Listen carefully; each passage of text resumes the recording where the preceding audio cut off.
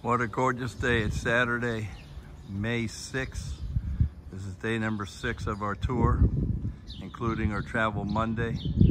And here we are staying at our beautiful retreat house, the Sea of Galilee. Listen to the birds real quick.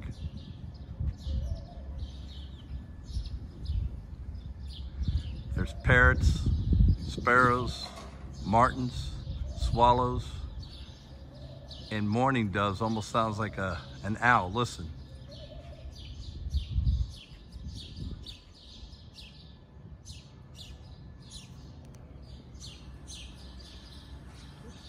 Holy Land, spiritual grounds, absolutely stunning.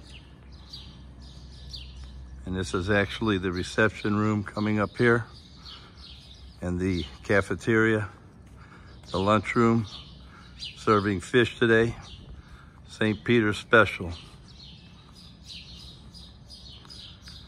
And this is our amazing bus. Hamid's our bus driver, probably one of the best bus drivers I've ever seen in my life. A guy backs up this bus here about uh, 2,000 yards. He's unreal. Here's the outdoor seating.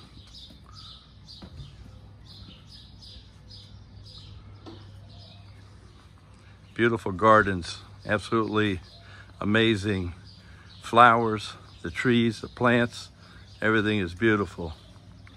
And here's the Sea of Galilee.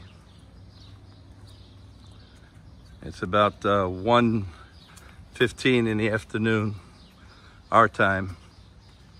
And this is a view of the Sea of Galilee.